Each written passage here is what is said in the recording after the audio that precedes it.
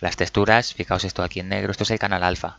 La textura de la planta eh, suele ser un archivo, una textura ahí rectangular, que luego tienes que mapearla a la planta. Entonces es muy difícil dar con el contorno y lo que se suele hacer es poner todo el alrededor de la textura en negro y después de que yo haya sabido mm, ubicar lo que es la textura de la rama eh, en el modelo, todo lo que sale en negro le doy al botón de habilitar canal alfa y se transparenta y así quedaría la planta perfectamente. Así que vamos a aprovechar para terminar el tutorial haciendo esa breve aclaración. Salgo del juego, me vuelvo otra vez al MED. Así aprovechamos para, para arreglar esto también. yo por ejemplo me voy a la planta esta y bueno, si yo quiero cambiar el canal alfa tengo que irme aquí, que aquí están todos los materiales, el índice de materiales, como podéis ver. Entonces tengo que ir de una en una hasta encontrar mi planta. Para ahorrar este proceso, ya conforme uno va cogiendo cierta, ciertos ritmos de trabajo, se va encontrando con atajos. Aquí en las texturas, si os fijáis, IT030 es el, de una de las plantas. Pues voy a buscar por aquí hasta que encuentre el IT00. Aquí está. ¿Veis? Si yo le doy a canal alfa, el color negro desaparece y alfa testing y se transparenta.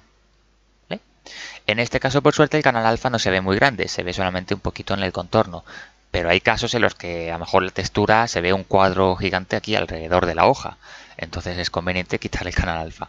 Ojo, el canal alfa no es color negro, ¿eh? simplemente es un fondo transparente que tiene el modelo. Si yo abro la textura, aquí se ve en negro, pero si yo abro la textura en el paint.net, si lo encuentro, si yo hablo la textura con esto, todo esto que se ve aquí en blanco es el canal alfa, es la parte transparente de la textura.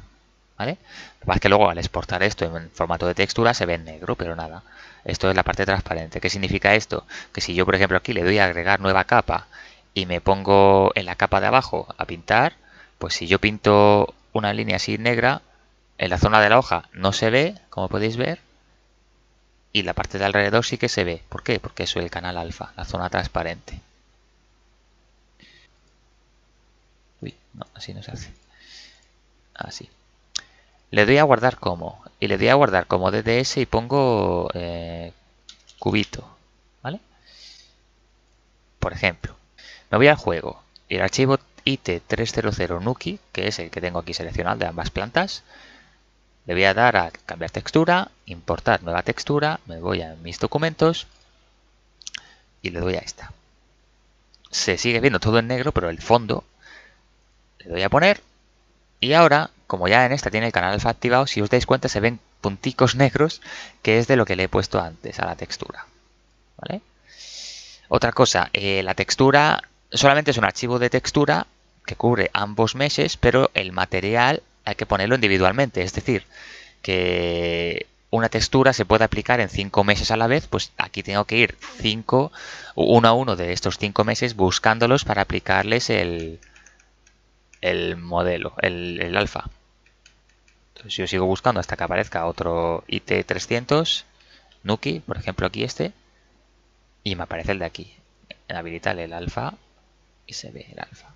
Tendría que hacer lo mismo con este y con este, para que se quedara todo esto transparente. No obstante, como no se ve tampoco mucho, queda disimulado, pues no es completamente necesario. Así que así es como concluye esta pequeña prueba de la habitación